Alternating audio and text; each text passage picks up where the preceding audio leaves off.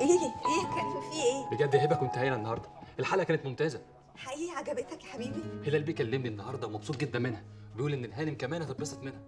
أيوه كده يا هبة. الحلقة بجد كانت تحفة. قلت لك بس يا سلام.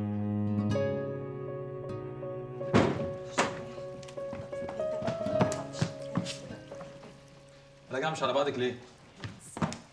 أنا؟ لا على بعض ليه؟ شايفني عاملة إزاي يعني؟